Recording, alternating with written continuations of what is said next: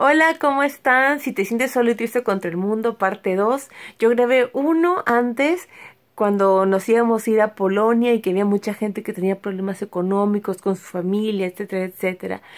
Y ah, después de que ocurrió el viaje a Polonia, me, me siguieron llegando algunos mensajes de personas que estaban pasándola mal y se sentían así, peleando solos y tristes contra el mundo por diferentes razones, ¿no? Y decidí hacer este video pues ahora, ¿no? Y, y es que la vida, de verdad, déjame arrancar, la vida no es sencilla, la vida no es fácil, yo sé que no es fácil para ti, la vida no es fácil para nadie. Yo sé que acá en YouTube parece que toda la vida de todo el mundo fuera color de rosa. Y no es así.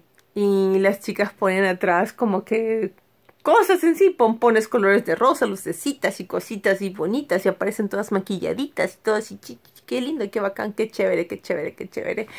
Y yo la verdad que no entiendo cómo hacen eso.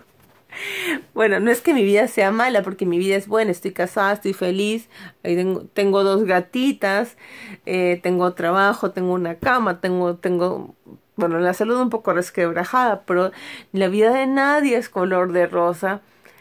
Y déjame decirte que no, mi vida tampoco es color de rosa pero hay que seguir viviendo, hay que avanzar, no te caigas, no te deprimas. Y sí, yo sé lo que se siente estar solo contra el mundo, uno se siente como que uno está luchando solo contra el mundo. Y, ¿Y por qué te sientes solo contra el mundo? Y es que la gente no, la gente, no, a nadie le gusta mostrar cuando uno está sintiéndose mal. Me explico, uno muestra así, cuenta partes de su vida, pero no mucha gente cuenta si se ha deprimido, si... Eh, a ver, yo voy, voy ahorita a abrirme con ustedes. Y yo soy una persona que a pesar de que tengo muchas bendiciones de Dios, a veces hay cosas que, que, que, me, que me deprimen un poco, ¿no? Hay gente, por ejemplo, que me decepciona mucho y o yo me deprimo porque siento que no puedo hacer nada, que no estoy haciendo nada por ayudar a otras personas, o, o porque tengo problemas familiares, X, Y, Z, problemas familiares, o otro problema también que tengo, y se los voy a contar, para que vean que no son los únicos, eh, que es porque, bueno, mi papá murió y dejo una herencia, entonces tengo hermanas y, hay problemillas y han salido personas, entonces todas esas cosas como que a uno van aumentando la carga de tu vida, ¿no? Y también tengo un esposo, estoy casada, tengo un esposo, dos gatitas lindas, ya les dije, y hay veces en que me peleo con mi esposo. Yo sé que si tú estás casada, pues sabes lo que es eso, te peleas con tu esposo muy seguido, eso es lógico, va a pasarte, ¿no? Y si tienes novio, pues de hecho te vas a pelear con el novio también muy seguido. Y pasa que cuando vivimos cerca, muy cerca de la gente con quien, cuando vivimos cerca, nos peleamos, ¿no? Entonces eso también aumenta que uno se ponga como que a veces triste o que esté desganado y uno dice, no, nadie me escucha, nadie me entiende. Y, y la vida no es fácil. No, no, la vida no es sencilla. Pero cuando eso me pasa, yo me pongo a revisar. Eh, eh, siempre busco la vida de misioneros en otros países. Y ahí me pongo a ver que hay gente que de verdad, de verdad está mal. Y, y eso me da la fuerza para decir, caramba, tengo mi casa, tengo mi familia, tengo todo y aún así estoy triste, no, no puede ser que esto me esté pasando a mí, yo tengo que tener la fuerza. Y uno tiene la fuerza dentro para salir. Tú en tu corazón tienes la fuerza para salir de la situación en la que estés. Lo que pasa es que a veces uno tiene miedo, yo, yo mismo tengo miedo de veces de salir de pelear por mí misma, porque a veces uno dice, no, no hay nadie que me defienda, nadie que me escuche, pero sabes qué, estás tú para defenderte a ti misma. ¿Sabes que Allá afuera hay niños que están viviendo solo en la calle y tienen que defenderse a sí mismos y son niños pequeños que tienen quizás 20 años menos que tú y ya están luchando por su vida. Entonces, si ellos pueden, tú también puedes. Sé que es difícil, sé que estás cansado y, y,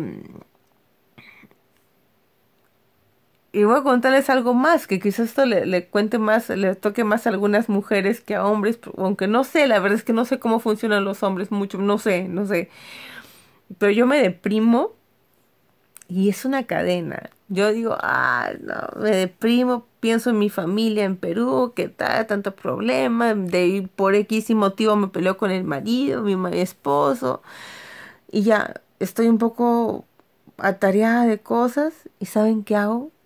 A veces, como lo que encuentro, así, lo que encuentro, parezco así como que, que si no hubiera comido en un año, así, me como así dos, dos, no sé, como un plato de arroz con, con algo y tomo un montón de jugo y como un montón, así, así un montón, un montón. Y después de eso, ¿saben qué? Me siento mal, porque tengo la panza llena, me siento muy llena, me siento como con náuseas. Y no, no, no, no, no se preocupen, no vomito. Pero me siento mal porque me siento, primero me siento mal del estómago porque he comido mucho. Segundo, me da cólera haber comido por ansiedad. Entonces me, me, pongo más deprimida todavía. Y encima después de eso, me siento cachetona, panzona, me siento gorda y me siento más deprimida todavía. Entonces, y llega mi esposo en la noche y me abraza y me dice, nos disculpamos y todo, y yo me siento mal porque digo, si sabía que nos íbamos a amistar en la noche, o en la mañana siguiente por este problema tarado, yo solita me, me, me hago daño comiendo un montón. Y el día siguiente pues ya bajo, no casi no como nada porque estoy casi todavía digiriéndolo el día anterior. Pero ¿saben qué pasa? Que hay mujeres que comen un montón y después quizás tengan, tengan problemas de bulimia, que es muy muy feo, ¿no? Este, a mí no me da la bulimia, pero a mí me da como que, como he comido mucho, tengo, a la mañana siguiente tengo unos, no, no puedo ni comer nada. Entonces, es una cadena que ya se me pasa, me calmo, no, no hay ningún problema otra vez, estoy tranquila, pero puede pasar que voy a tener un montón de problemas y en, y en lugar de sentarme a pensar con calma, aclarar mi cabeza, me pongo a comer lo que sea, así como por ansiedad, como por ansiedad. Lo acepto, lo digo. Hay personas que quizás no, no comen por ansiedad y lo que hacen es tomar por ansiedad. No, sé cómo ser eso, porque a mí el alcohol... Pero yo sí lo acepto, soy como por ansiedad, lo pueden ver en mis cachetes. y después me veo haciendo videos. O hay días ¿sabes qué cosa les cuento? Que no hago videos decido, no, sabes que no voy a hacer videos porque prendo la cámara del celular y me veo súper cachetona, súper gorda y digo, qué vergüenza voy a aparecer en un video con esta cara horrible.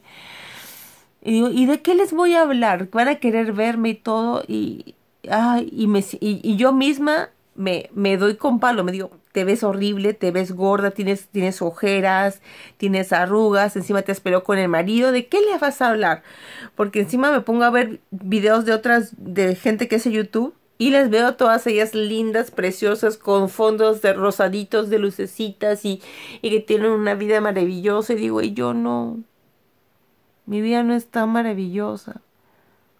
Y la verdad, ¿saben qué? Mi vida es maravillosa porque es real. Y yo misma, a veces uno dice, la, peor, no, no, a veces no uno dice, el peor verdugo que uno tiene es uno mismo.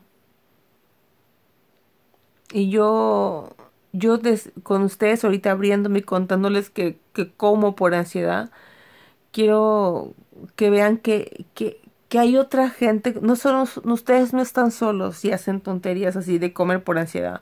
Hay gente que toma por ansiedad, hay gente que hace otras cosas por ansiedad. Bueno, yo, yo como por ansiedad.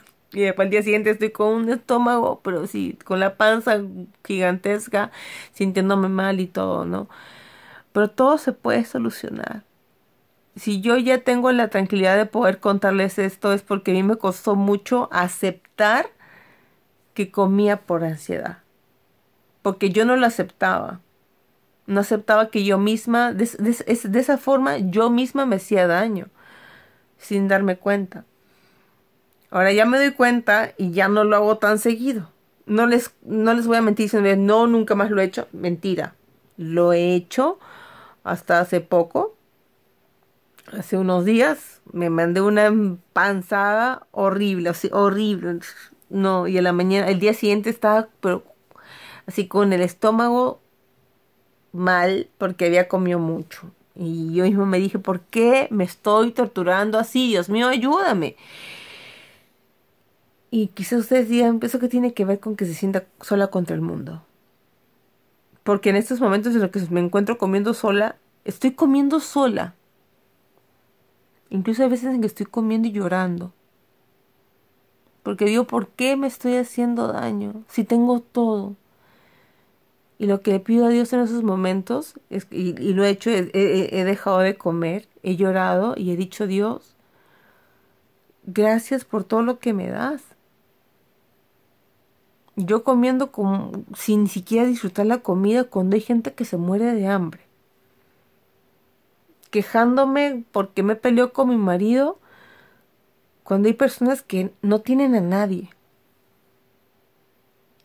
Molestándome con que tengo la panza muy gorda cuando hay gente que está muriendo de desnutrición. Quejándome porque mis hermanas y la herencia de mi papá, cuando hay gente que nunca ha recibido un, dólar en su vida.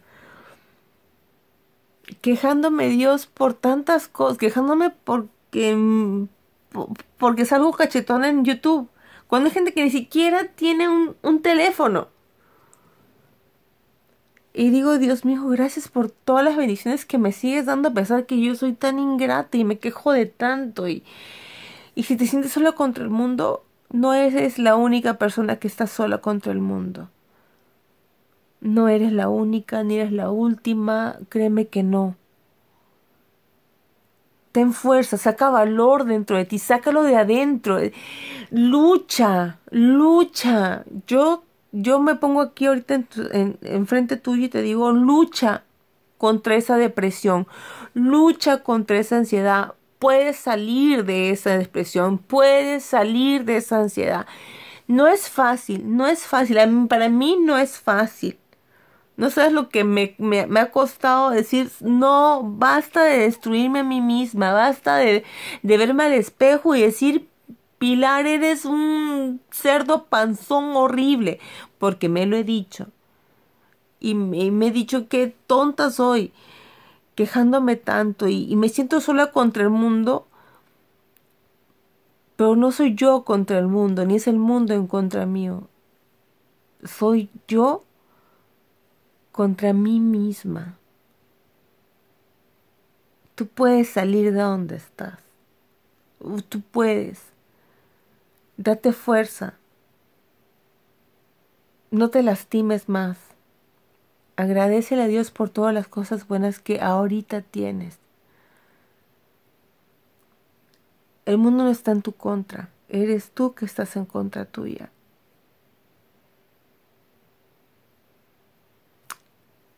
Fuerza. Fuerza.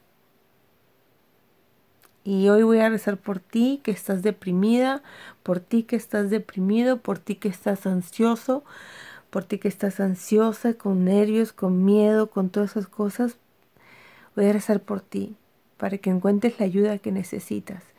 Pero créeme una cosa, no hay pastilla ni hay psicólogo que te pueda ayudar si la ayuda no sale de ti. Y para que salga de ti, tienes que analizarte y tú mismo darte cuenta de lo que tú estás haciendo. Porque tú solito te estás lastimando y te estoy hablando bajo la base de mi experiencia.